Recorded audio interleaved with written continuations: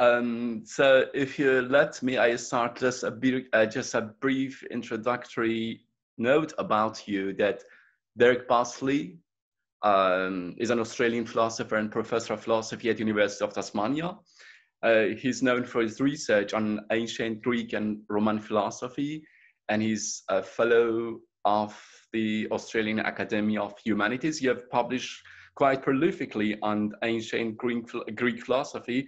Um, you have co-authored um, the book Power and Pleasure in 2001, also co-authored um, Reading Plato in Antiquity, and also written on Plato's um, a, a, commentary on Plato's Republic, as well as on Plato's uh, Phaedrus. Is it true? Yes. Right. Yes. Okay. Ma making more books for people to read. All right.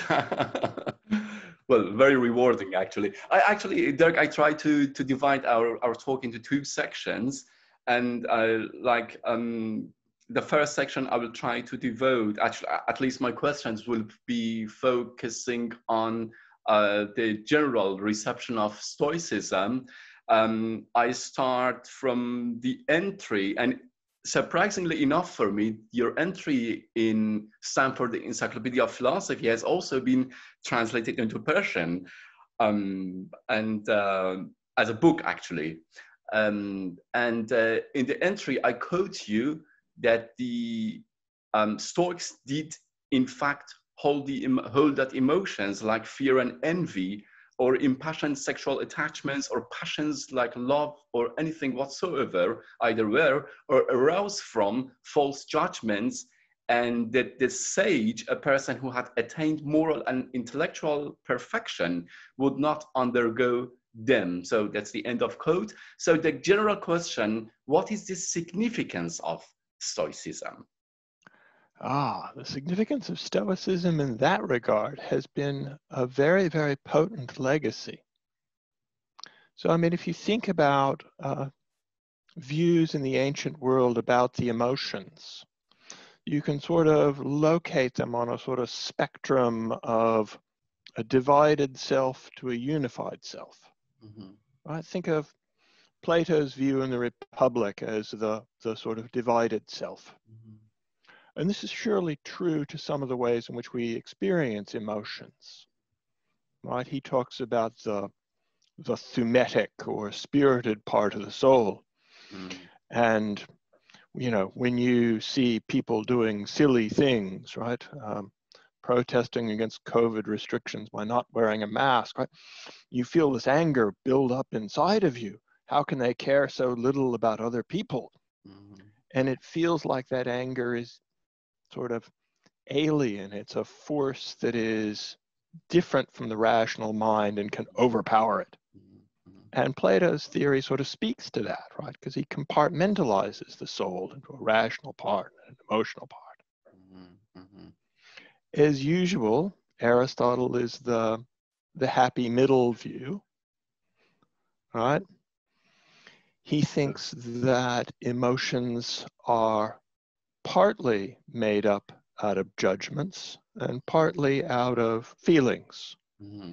Mm-hmm. And so, in his very, very practical work called the Rhetoric, uh, which, which is meant to guide um, public speakers in, among other things, manipulating the audience's emotions, right. he tells them what these emotions are. And anger, he says, is uh, a feeling of pain which is occasioned by the recognition of a conspicuous slight to you or your friends, mm-hmm. together with a desire for revenge. And he even says there may be a further feeling of pleasure as that desire for revenge gives way to the imagining of you getting yours back. And that's why we say anger is sweet. Mm. Right? So anger is a package deal then right? It's a feeling, Plato was right about that, but it's a feeling that arises from a judgment. All right. Now, the Stoics are on the opposite side of the dial and they say, oh, yes, that's right. Judgment is in emotion, mm-hmm. but that's it, right? All right. Uh, an emotion like anger, is in fact purely a species of judgment.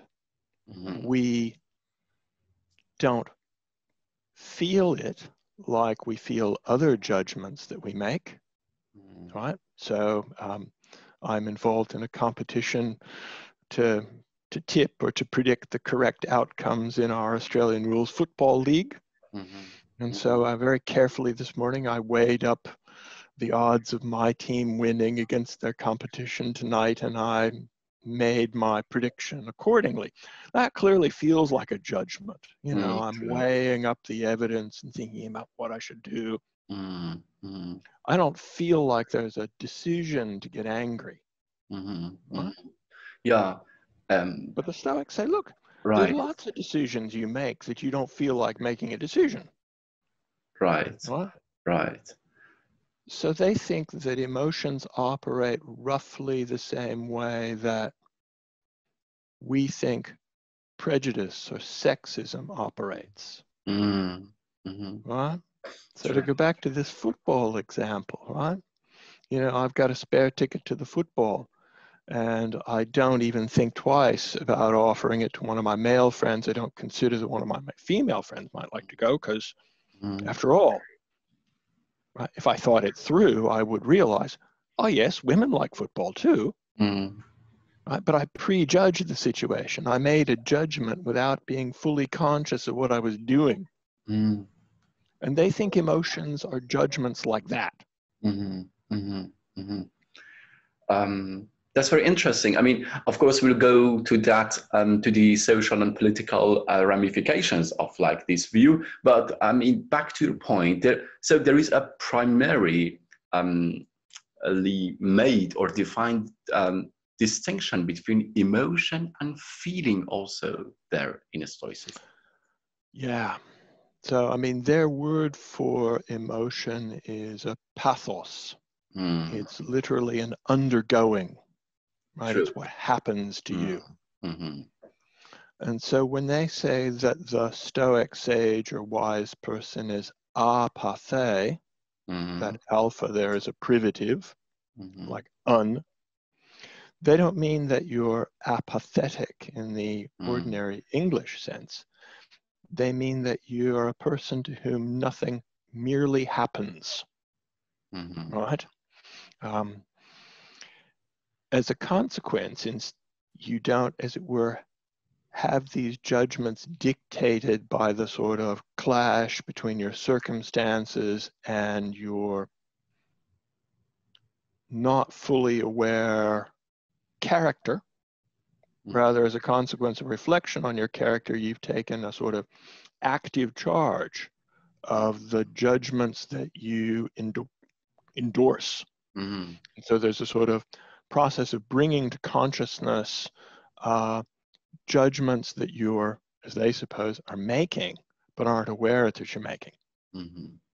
Okay. And it's curious that um, cognitive behavioral therapy for depression often borrows from some of these sort of stoic spiritual exercises for bringing to consciousness mm-hmm. some of the implicit judgments that mm-hmm. you're in fact making about the world and, and situations.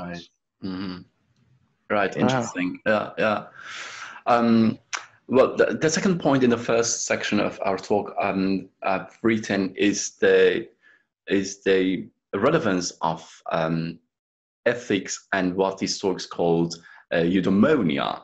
Um, I mean, that's a bit um, deceiving because Aristotle also used that word, and there seems to be some differences between Aristotelian grasp of eudaimonia and the Stoic grasp of it. Could you please elaborate on that? Of course.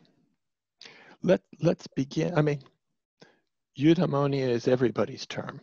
Mm-hmm. And if you read English translations of ancient texts, I, I don't know what they do with the word in Persian translations, but in English it's often happiness. Mm-hmm. Sometimes it's flourishing and sometimes blessedness. And sometimes blessedness, though that's often, more often, makarios. Right. Um, the idea they've got in mind is a sort of objective condition of human well-being, Mhm, right? The sort of full realization of the human potential. mhm, mhm. And in that respect, it's more objective than some connotations of the English word happiness, All right. right? Because that seems like a feeling that kind of comes and goes. Mhm, Um, sometimes I think people convey the sense of what's going on with all these ancient Greek philosophers by treating uh, eudaimonia as synonymous with success, mhm, mhm. but not success in the sort of conventional sense, right? You know, with the big house and the, the promotions and so on and Mhm. so forth, but success in terms of being a human, right? Mhm, fulfilling the human job. So the Stoics and the and Aristotle both agree that, right? Fulfilling the human job is the thing that we unconditionally aim at. That's eudaimonia.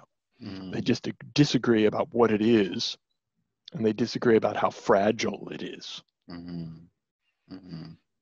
And by fragile, I mean whether external circumstances can um, derail your eudaimonia.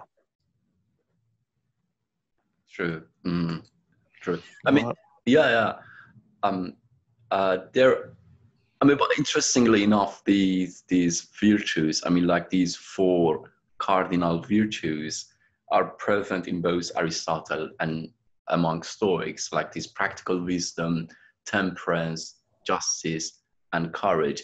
But it seems that for Stoics, it is all dependent on the knowledge that you have of all these cardinal virtues. That's right.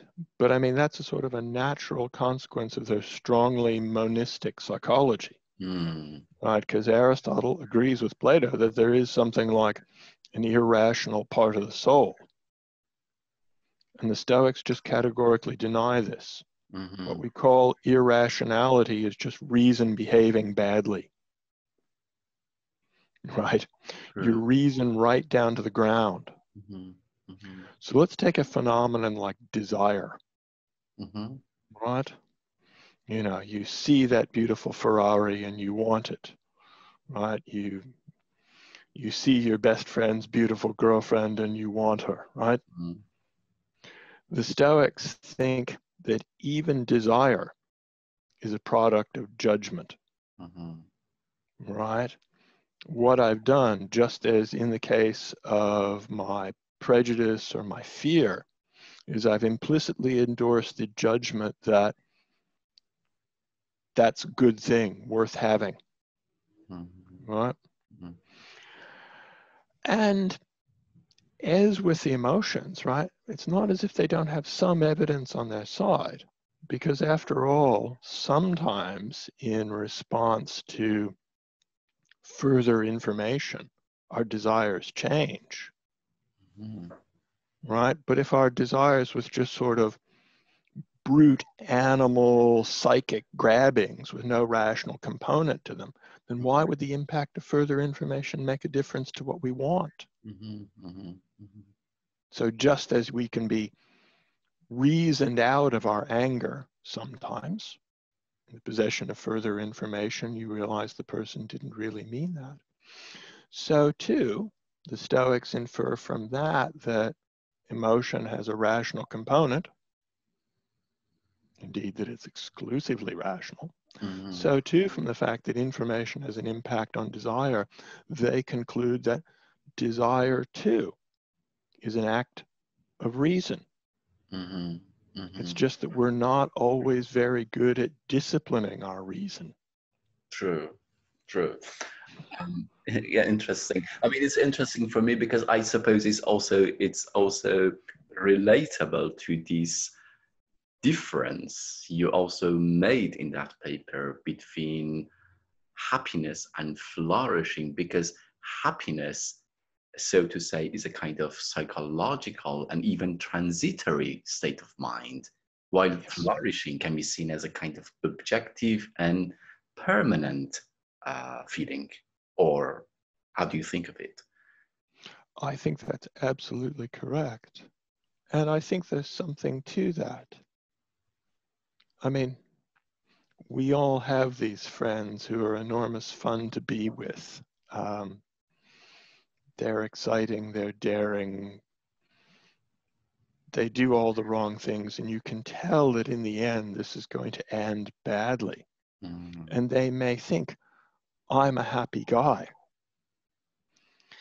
And you may think, well, yeah, you're fun to be with and you're having a good time, but this is not the pathway to flourishing.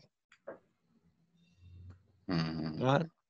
Mm-hmm. When your brother or your sister have their first child and you wish that child every happiness, mm-hmm. what you wish for them is not a sort of transitory, pleasant state of mind. You mm-hmm. want them to be successful as humans, not to realize the sorts of talents that they're born with and live in a really excellently human kind of way. And that's more objective than just, you know, their state of mind. Mm-hmm. True. Mm-hmm. It's also relatable to the feeling emotion difference. Like one is um, seen more as objective, the other is more your point of view, probably, or is more. Yeah, I think that's fair too. Um,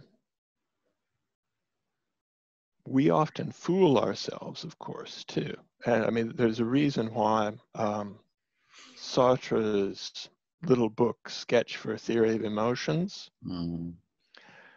is actually heavily indebted to the Stoic theory of the emotions, right?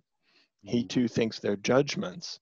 And the sort of interesting existentialist wrinkle that Sartre adds to this is we often fool ourselves about whether about us lacking control here. Mm-hmm. I tell myself I couldn't do anything about that. Mm-hmm. I, I put the responsibility elsewhere. And that element of bad faith is sort of the difference between that kind of objective look at our feelings. Mm. Did you have to get that angry under those circumstances? Mm. No, no. but then, of course, you know, to let myself off the hook, I tell myself, oh, well, I'm just like that. Right. You know, my, mm. my father was a very angry guy mm. too, and I've just mm-hmm. inherited that. Mm-hmm. mm-hmm. And the Stoics and Sartre say, no, you're letting yourself off the hook there. Mm. It's ultimately down to you. Mm, mm, mm. That comes very close to the prejudice you were talking about. This this bias view that can sort of justify through the background. I come from that culture. I come from that family. I come from that father. I come from that religion. You know, like it's yes. also yeah, yeah. Well, there's a reason why the Stoics seem to agree with the Cynic school, who mm-hmm. seem to have perhaps coined the term cosmopolites, cosmopolitan. They think that your real citizenship is in a sort of uh, a kingdom of rational beings, mm. right? And those who, in whom reason is properly trained so that they actually live up to that potential form the only uh, genuine state that there is. Mm. Right? The difference between Greeks and Romans or Athenians and Spartans, this just drops away. Ultimately, you're all citizens of uh, the community of gods and wise people. Mm.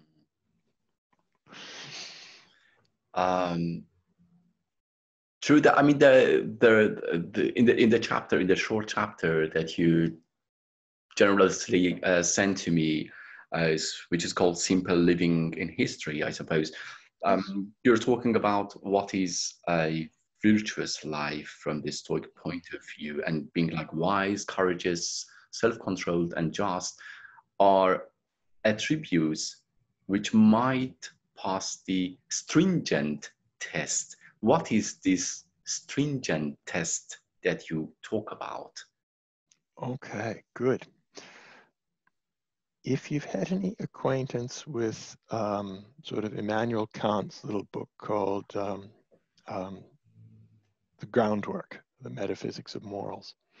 He's got this argument in there that uh, the only good thing is the goodwill, mm-hmm. right?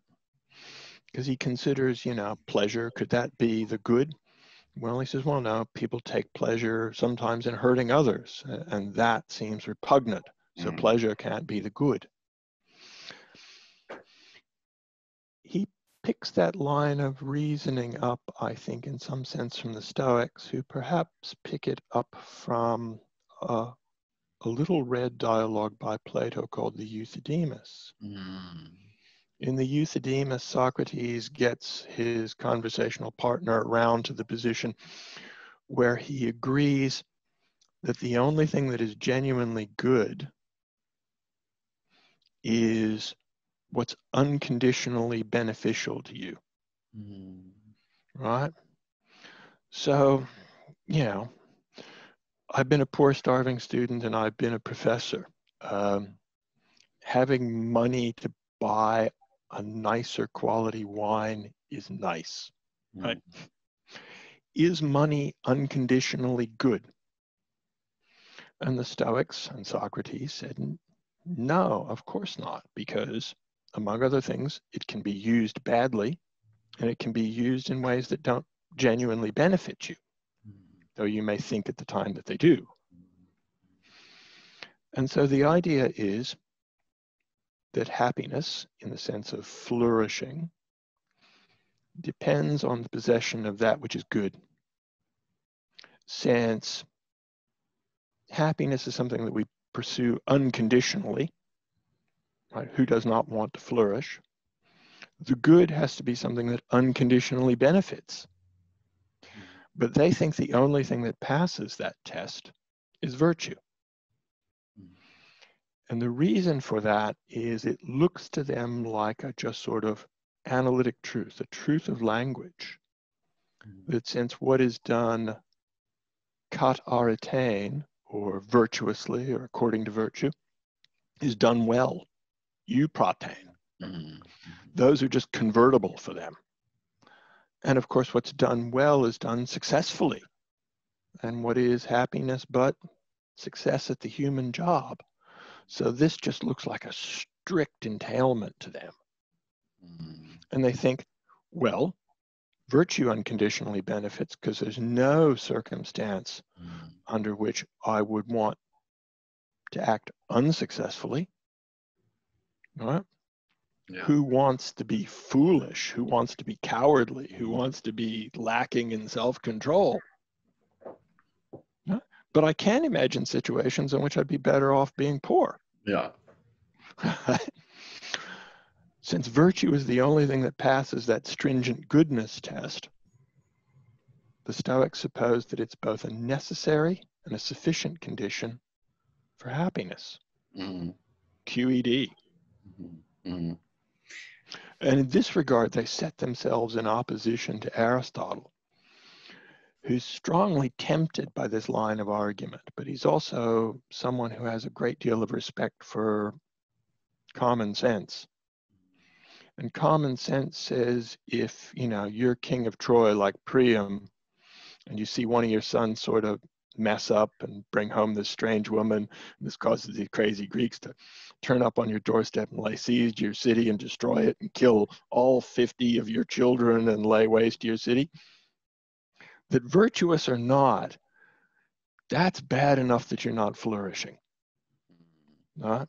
So Aristotle seems to give in to common sense that there can be circumstances in which he what he calls the externals, mm-hmm. bad luck, um, lack of noble birth, not being good looking, because being good looking is very important to the Greeks. Uh. But these things can um, spoil our happiness, our flourishing. Mm-hmm, mm-hmm. Yeah, but, but but but sorry sorry to interrupt you, Dirk. Um, but interestingly enough, um, uh, health is also defined as an external yeah. factor.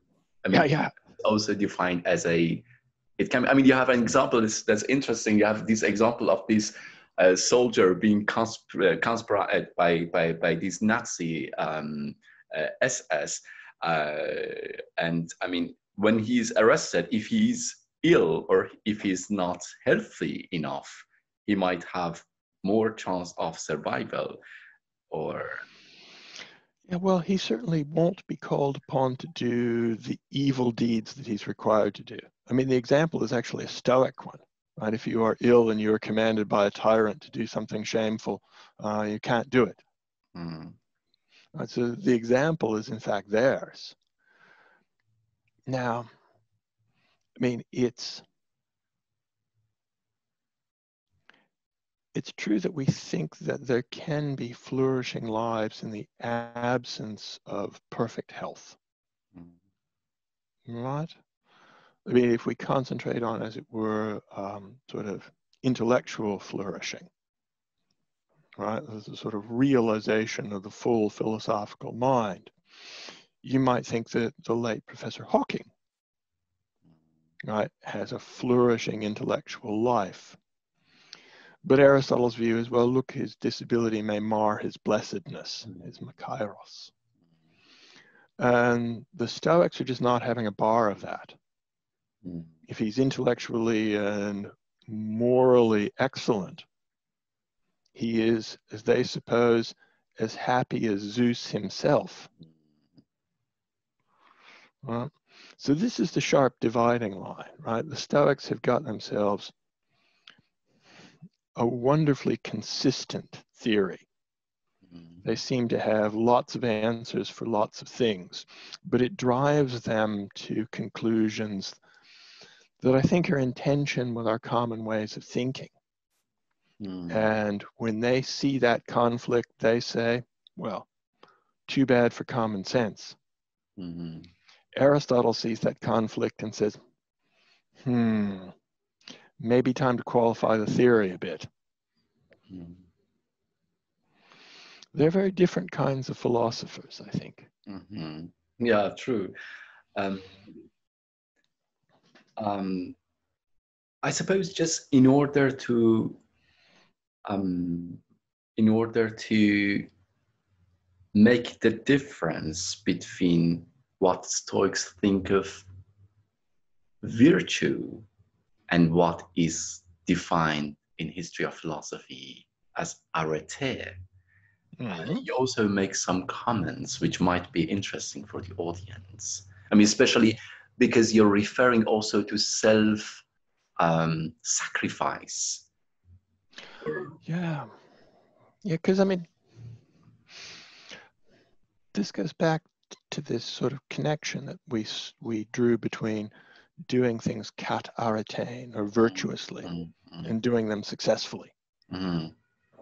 Ordinarily, we think there's a tension between virtue and happiness. All right. Uh, my friend is feeling depressed and I really should spend some time with her, but when she's like this, it really brings me down. But it's the virtuous thing to do for a friend. Sigh, right? The idea that there is an incompatibility between virtue and happiness is one that doesn't compute for the ancient Greeks, mm-hmm. right? Or at least not for those like Aristotle and the Stoics who try to argue that virtue is an essential or the only component in a happy life, right? And they're relying on that kind of analytic connection there. One of the nice features of the Stoic view is they've got this idea of things that are uh, oikeion or appropriate to you, right? So while health and wealth are not good in the sense that they're essential components of happiness, given an opportunity to, to do things that will make me healthy as opposed to things that will make me unhealthy, of course, it's more rational to choose the healthy ones, right? Until, in the absence of further information, that's what nature dictates. Mm-hmm. One of the other things that nature dictates is that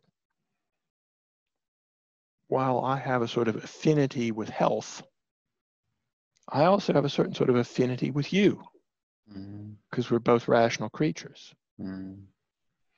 And if it comes down to a choice between a course of action that promotes my health a course of action that promotes your health, hmm. it's not a foregone conclusion that I should choose mine. Hmm.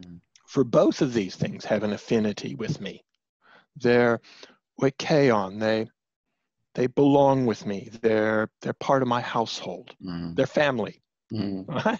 interesting, yeah. Um, and this notion of a sort of universal brotherhood of rational beings is, I think, one of the sort of interesting features of the Stoic theory of virtue when it gets mm. married to that question of mm. who is the self? Who mm. are you really? Mm-hmm. Right? You're a rational creature. And I'm a rational creature. And this makes us brothers under the skin. And for that reason, they're inclined to think that if I do the virtuous thing in spending time with my friend who's depressed, this is not a contest, as it were, between my happiness and virtue. I just need to get an appropriate view about the value of that excellent friendly action. Mm-hmm. Mm-hmm. Right? Mm-hmm. There's not a real incompatibility between my flourishing and my virtuous action. In fact, there's an exact overlap. But I may fail to see that from my ignorant point of view because I haven't got my head straight.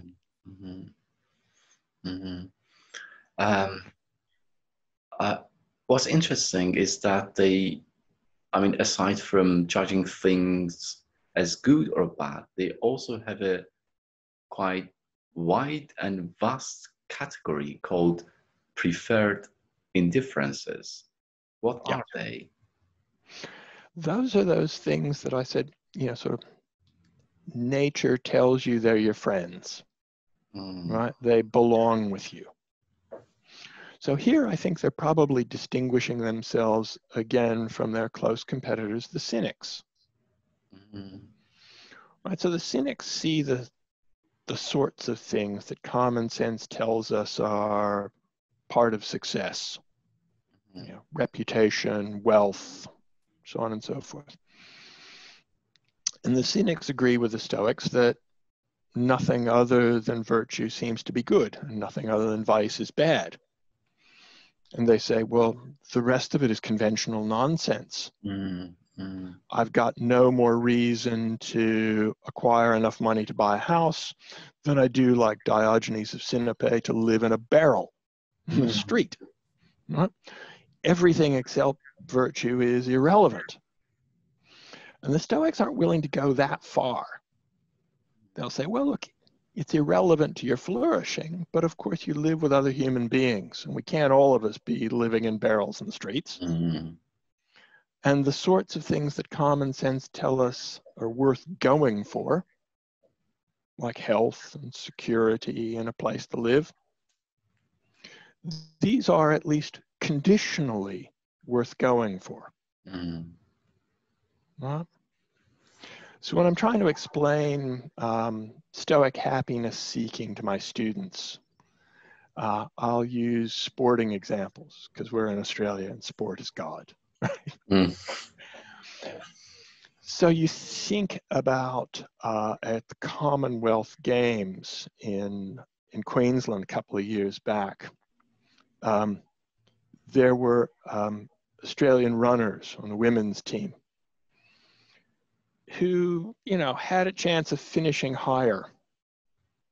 But there was uh, a woman, a competitor, I think from Ghana, who had not had enough fluids, and it was a very, very hot day, and she was becoming disoriented and couldn't find her way to the finish line. Uh-huh. They stopped and helped her across, and surrendered several places in doing so. Mm-hmm.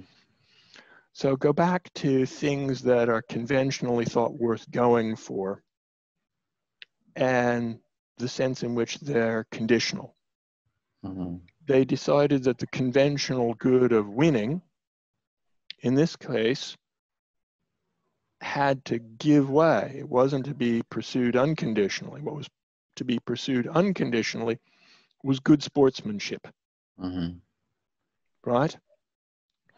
And I think of the, the Stoic wise person in much the same way. The pursuit of the preferred indifferents, mm-hmm. health, wealth, friendship, reputation. Mm-hmm. These are, as it were, the, the sporting contest, which provides the sort of rules and framework, the equipment for demonstrating good sportsmanship. Mm. But what I really want is not to win, not to have the medal. What I really want is good sportsmanship. Mm-hmm. And sometimes competing honorably gets you the prize. Right. Mm-hmm. And when it doesn't, they suppose that uh, the wise person feels no conflict and no regrets. Mm-hmm. If I had it to do over again, I would still help her find her way to the finish line. True. Yeah. this is this is one of the reasons why um,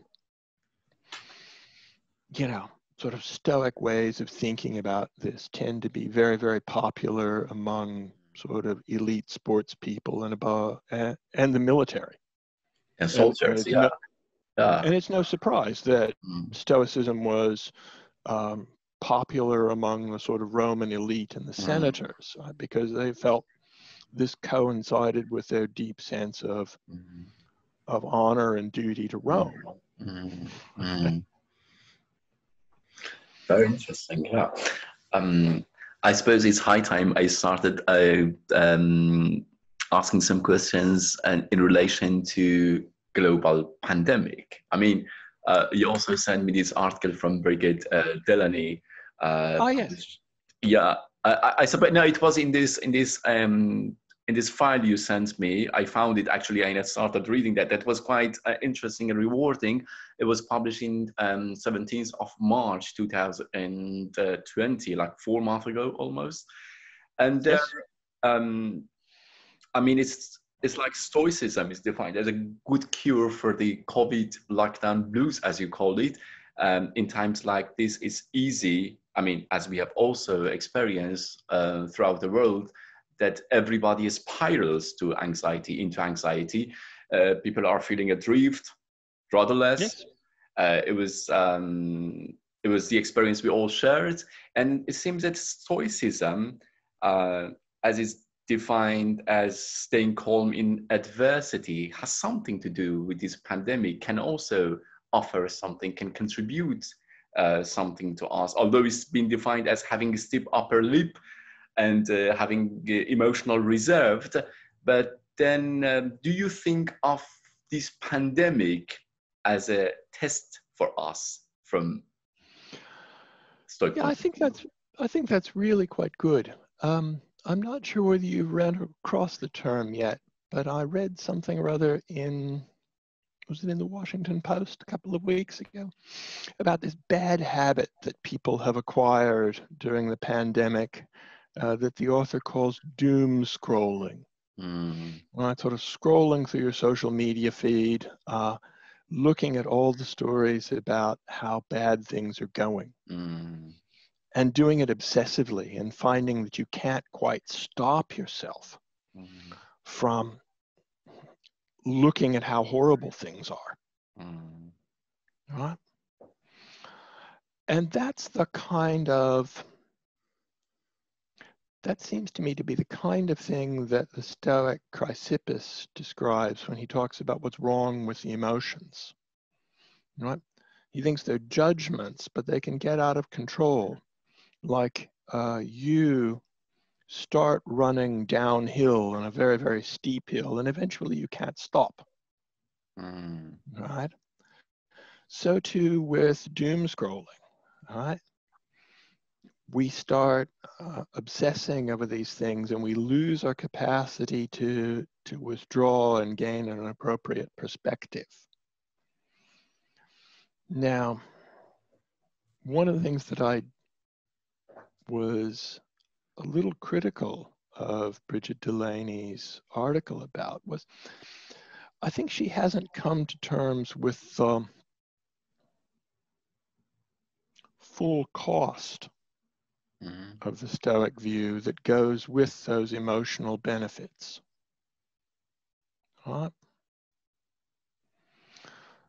God forbid that you or any of your listeners should lose a loved one in this pandemic.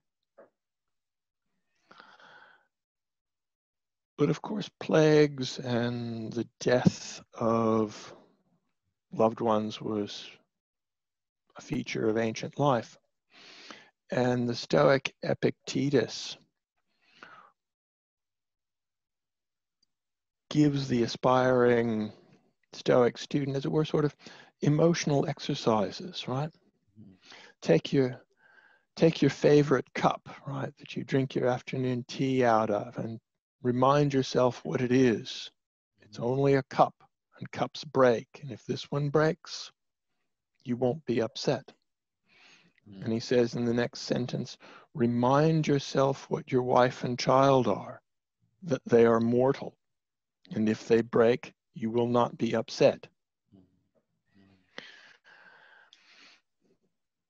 The question I think I have for people who suppose that Stoicism is a good way of gaining control and gaining perspective and not being upset by events in the pandemic is that if you really absorb the full weight of their philosophical views, I think it is hard to suppose that your relation to your loved ones can remain exactly the same.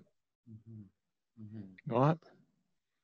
Would I be better placed to deal with the death of my wife in a pandemic if I could regard her in the same realistic way that I regard my favorite teacup? Mm-hmm. Yes, I would. Would my relationship to her be the relationship of love that I think that it is? Maybe not. Mm-hmm. Right? And so I guess I think, um, you know, people who are taking Stoicism for the COVID lockdown blues should read very, very carefully the ingredients on the bottle, mm-hmm. right? If you're going to take this, because you're upset, make sure that you know what's in it. Mm. and of course, the Stoics themselves wouldn't think of this philosophy as, you know, uh, a little helper that you take when times are tough. Mm. Mm. They believe this not because they believe that it will help you. They believe it because they believe it's true. Mm. And they think that as philosophers, that's your first question. Mm-hmm. Not will it make me feel better, but is it true? Mm. Right. And that seems to me to be the difference between sort of casual self help books and philosophy. Mm. Right? The ancients are firmly of the view that there could be nothing that is really good for you to believe which is nonetheless false. So you have to do the philosophy first. You have to look at the arguments and say, is it really plausible that mm-hmm. the only good thing is virtue? Mm-hmm.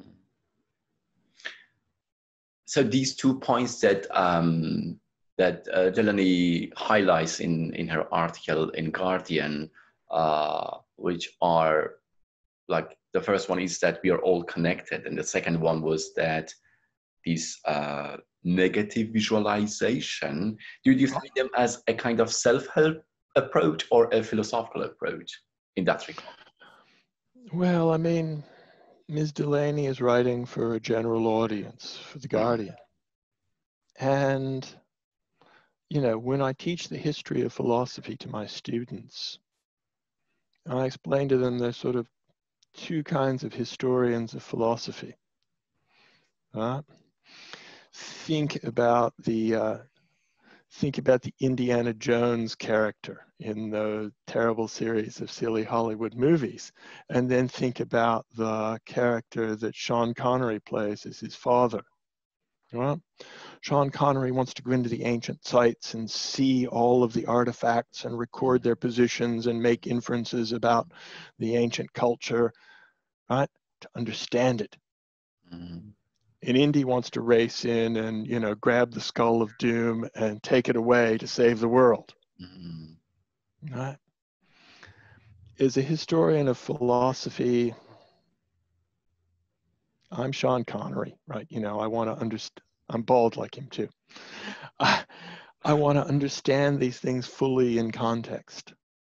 Uh, and only after I've, as it were, sort of assessed mm. whether they the meaning of these things in their original setting can still have meaning for us. Mm. Only then will I decide whether it's worth trying to save the world with this. Mm. And, um, you know, my own thought on this is Stoicism is potent stuff, but I suspect that Aristotle is in fact closer to the truth. Mm while our flourishing is mostly up to us, things like pandemics can come along. And those do indeed threaten our ability to live fully human and fully flourishing lives. Mm-hmm. Mm-hmm. That means that not all of these things are under our control. And the Stoics are wrong about that. Mm-hmm. And that's worrying. It would be nice if it were yeah. true. Mm. But I don't think it is. Mm. What do you think? Are you ready to sign on for, you know, a full dose of stoicism? No, no. I mean, just I had actually I had something. I mean, um, like Marcus Aurelius as an example of these, uh, like this Roman emperor we also lived through this Antonine plague, if I'm not wrong. Yes. Pandemic that wiped out uh, one third of the population, and also we have um, we have uh, Seneca himself who lived through the time of despots like like Nero, like Caligula. Uh, so I'm I'm just wondering. I, I, I actually I was I was I was about to ask you as perhaps my last question about these social political facets of it. Because i suppose it's sort of i mean it's very it's very neutral. I mean you can't say if stoicism helps you politically and socially when you're living under despots for example or under pandemic like now yeah. It's it's very neutral. I don't know really how to side with that. I think that's probably right. And it's because there's this sort of tension between their cosmopolitanism mm. and their community in a kingdom of rational beings, mm. the first citizens of which are the gods, because they're fully rational. And I think looking at other human beings as akin to me and part of my family, but with the idea that I should be able to sort of calmly contemplate mm-hmm. their deaths, either through a pandemic or perhaps, as in the case of Brutus, also a Stoic philosopher, at my hand if I think that killing Caesar is what Rome requires. Mm. right? Um, I think Stoicism leaves us as individuals with a with not much to set a sort of moral compass on, right? Mm-hmm. Be excellent, mm-hmm. be courageous, right? Be wise, be self-controlled in relation to what? Mm. things that I, at the end of the day, must say don't matter are like teacups. Mm. right? It's like that stark choice in Sartre's existentialism as a humanism, right? Mm. Should I should I stay at home with my aged mother and care for her, join the resistance and fight the Nazis? And Sartre says, well, look, there's no God, there's no nothing written in the stars to tell you what to decide here, right? What does courage, or in Sartre's case, what does authenticity require here? And the voice comes back from the void, mm. what you say it requires. Mm.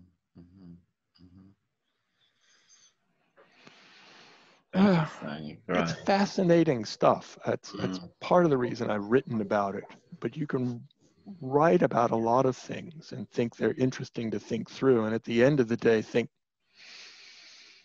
I understand the fascination, mm-hmm. but I'm not sure this is true. Brilliant. Um, Derek, do you have any any last remark, like generally for the audience? Um, a bit of advice if you're interested in Stoicism. Mm. Um, the ancient works that are most accessible to us are the works that are least theoretical. Mm.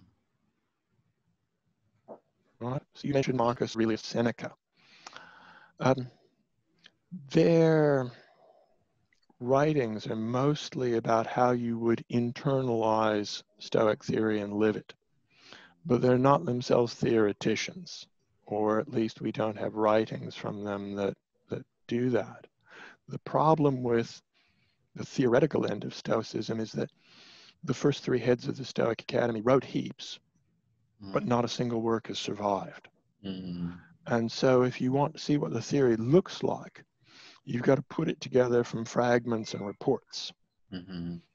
Um, the best text for doing that is by A. A. Long and D. N. Sedley called The Hellenistic Philosophers, Volume 1 from Cambridge University Press, published in 1987, I think. Mm-hmm. Um, it's enormous fun to read Marcus Aurelius because I mean, he really comes off the page as as a person. Because mm. after all, what you're doing is you're reading his notes to himself. Mm. But you'd be hard pressed to figure out from reading Marcus why he thinks the things he thinks, what, the, what he thinks the arguments are. Right? And, and that's just one of the sort of bits of historical tough stuff about studying Stoicism. It's why things like, you know, that Stanford Encyclopedia entry on Stoicism, I, I hope are helpful to orienting people to the texts that are accessible and available to a general public, like Seneca and Marcus Aurelius. Um, but yeah, it's um, it's one of those historical bits of bad luck. Mm-hmm. Some books survive and some don't. Mm-hmm. No, it was. I mean, the peer PCR entry and Stoicism in Stanford's Encyclopedia of Philosophy is absolutely illuminating and, and, and, and user friendly. I mean, it was a Stoic style of writing about Stoic. I, I really appreciate that. And I, I should also thank you very much on behalf of uh, the Iranian audience, myself, for the time and effort you made into this uh, nice and kind discussion. And it is it is my absolute pleasure. Um, the uh, assuming that it in fact happens, the World Congress of Philosophy is supposed to be coming in Australia to Australia in 2022. All right, uh, great. So perhaps um, if the world is back to normal again, I will see you in Melbourne in a couple of years. Yeah, absolutely. Definitely. And looking forward to meeting you in person. And if you happen to come to Berlin, of course, you're all welcome. And I hope to. I'm I'm in for a couple of European fellowships for next year, but we will see what happens. Okay, great, great. I, in in the meantime, I will try and remain apatheia. we all have to actually. um, all right. Yeah, thank you, Derek, and I I wish you. A, what time is it now there? Is... Oh, it's just gone 8 p.m. in the evening oh, on right. a cold winter night. True. Yeah. Time for a warm glass of wine. And All dinner. right. Yeah. Yeah. Perfectly. Yeah. And I wish you a happy and also flourishing evening. Good night. Good night. Thank you.